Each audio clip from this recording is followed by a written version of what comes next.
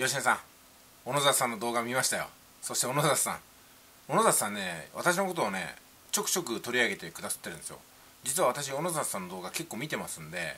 その中にね私の名前がタイトルで出るものもあればあの動画を再生しないと久保哲郎っていう名前が出てこない出てくることがわからない動画もあるんですけども結構ね出してくれてるんですよね。本当にありがとうございます。で今回ねあの思考は現実化するの嘘の嘘というタイトルをつけてますけども別にこれはね小野里さんに喧嘩を売ろうと思ってるわけではなくていや確かにそうなんですよ。あの小野さんが言われてるようにあの何をもってね思考を成り立たせていくのかとか何をもって戦おうとしてるのかってところは非常に大事なんですよね。だから素手で戦場に行ってもそれは落ちるだけなんですよ、うん、だからやっぱり私たちは何をもってビジネスを成り立たせようかとしてるのかっていう最初の武器を持たなくちゃいけなくってまあ小野里さんだったらカメラ転売だったというところもありますし、えそれからねいろんなビジネス展開していったりとかコミュニティサービスに展開していったりとかジョイントが入ったりとかするわけなんですよ。だからねいきなり脚光を浴びてるわけじゃないんですよ野里さんも。最初は転売でその単体で利益を上げてたんですよね。カメラを1個仕入れて出品してで、え、商売完了してあ5000円の利益上がった1万円の利益が上がった。こういうふうに1馬力を何回も何回もやって検証して確かめてトラブルに対する対処策をいろいろ練ってねそれからあそろそろ人に教えてもフォローができるなと思ったからコンサルってものに入っていったと。でコンサルは単価を大きく取れますんでコンサルと自分の作業とプレイヤーとしての作業とでダブルでいったと。でそのうちに資金もできてきたんで投資をやろうかなっていうふうにどんどんどんどん広がっていって今の野里さんというね H2 クラブっていうのができたりとかするわけなんですけどもやっぱ最初からねじゃあ今の状態じゃないわけですよ。私も同じですよ。最初から隠居してるわけじゃないんですよ。最初は麻雀店ですからね。小野里さんが広島に来た時は麻雀店の店内で対談動画を撮ってたわけですよ。そこしか場所がなかったんで。本当に向こうの方じゃ麻雀やってねポンチーカンローンってやってる中でこっちで対談してるわけですからな滑稽なもんですよね。まあでもね小沢さんもそれに付き合ってくださって今でもその動画残ってますからね。でまあ何が言いたいかっていうと私たちは何をもってね戦おうとしてるのか何をもって商売をしようとしてるのかあなたの商品は何なんだってことなんですよ。で私は自分で小野里に売り込んだわけじゃないですけども小野里さんは私のことを紹介するときにセルフバッグをやり込んだ人っていう風な触れ込みを作ってくれますよね。で逆に私も小里さんのことを紹介するときにはカメラ転売の人っていう風な最初の武器を紹介することができます。こういう風に自分ではない誰かに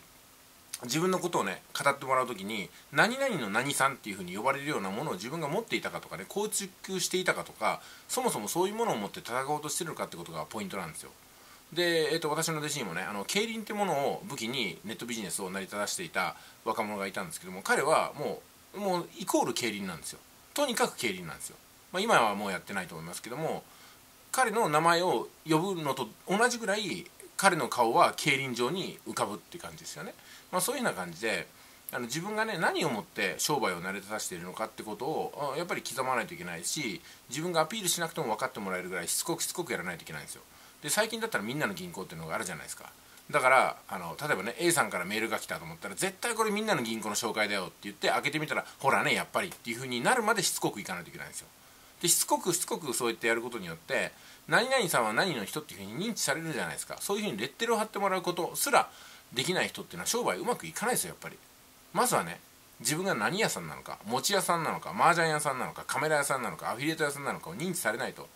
だからこういうことなんですよ。あの人はあネットワーカーだねって言われて初めてネットワーカーなんですよ。あの人はネットビジネスの人って言われて初めてネットビジネスの人としての足場ができるわけですよ。今何とも思われてないし何とも言われてないですよね。なんかよくわかんない人になっちゃうでしょ。そうじゃないですかね。だから自分のビジネスをしっかりと打ち立てたらアフィリエイトの人と言われるのか転売の人って言われるのか体のエーダの人って言われるのかノアコインの人って言われるのかね。そういうのが決まってくるわけですよ。だからそのぐらいしつこく人の DNA に刻み込むぐらい発信をしていかないとまずは振り向いてもらえないしビジネスっていうのは始まりません。だからねここにね思考は現実化するの嘘って書いてます。確かに思考は現実化する。思考しただけじゃ現実化しないですよ。そういう意味では思考は現実化するっていうのは嘘なんですけどもでもね思考から始めないと何も始まらないっていうのは言えるんですよ。